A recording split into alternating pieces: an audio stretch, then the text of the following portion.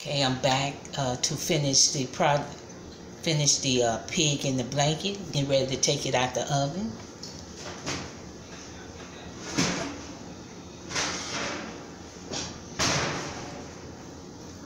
And this how they look. And what I'm gonna do, I'm gonna sprinkle a little cheese on it.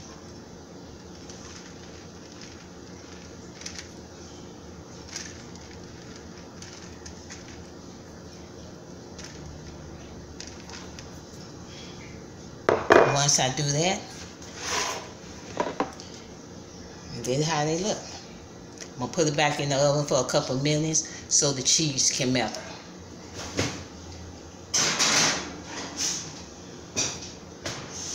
once I uh, once the cheese melt, it'll be ready to eat.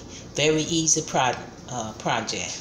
Um, it's uh, take it took like less than 30 minutes before it got brown and everything. But this is a very good project. It's quick, it's easy, and like I said, great for the kids to help.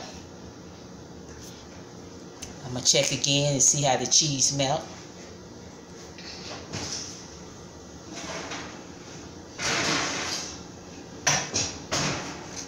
And this how they look.